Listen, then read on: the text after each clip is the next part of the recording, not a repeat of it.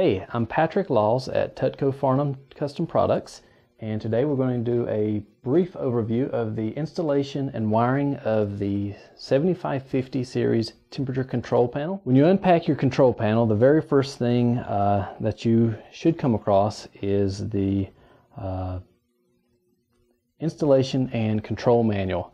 Uh, this uh, should contain all of the information that you need to install, uh, wire, and operate the unit, um, which we should go over most of that right now.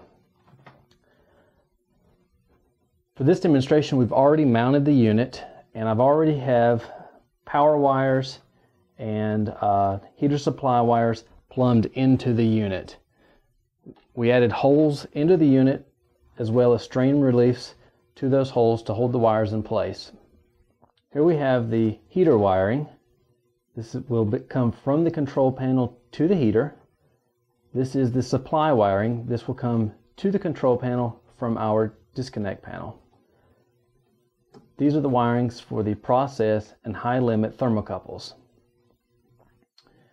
We're going to begin by wiring in the supply power ground wire along with the ground wire that will be going to the heater.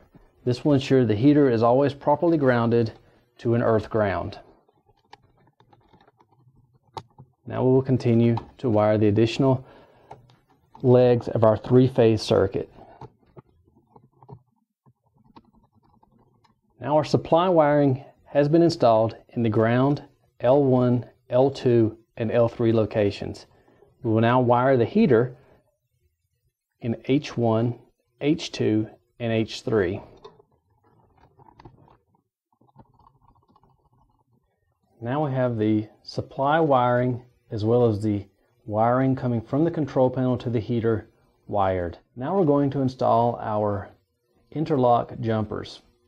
Since our install will not include a snap switch or a flow sensor, we will place jumpers in these to prevent the controller from signaling an error with an interlock.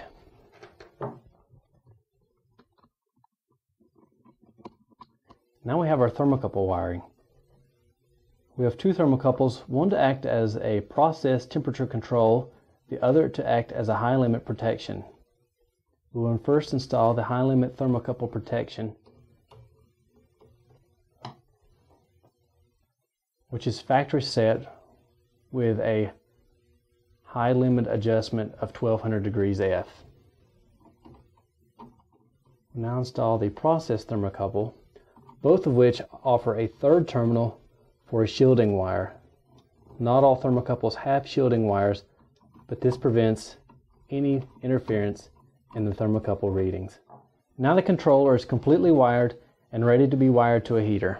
So this is how you wire the 7550 series temperature process controller.